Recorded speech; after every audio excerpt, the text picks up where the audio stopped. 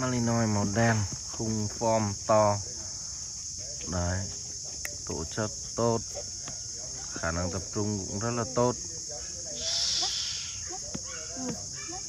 Các cái bài lệnh mớm lệnh cũng ổn. Tìm được những cái con, cái chỏ lông ngắn này, form to này. Tổ chất cân bằng, không quả nhút nhát và không bằng nhẵng. Thực sự là không phải là dễ đấy.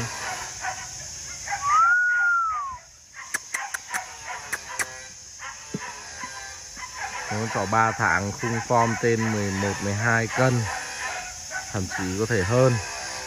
Đấy. Khả năng cân bằng rất là tốt, chơi với chủ tốt. Anh em nuôi chó tròn những con chó như này là cực kỳ ok nhé lông ngắn, sạch sẽ.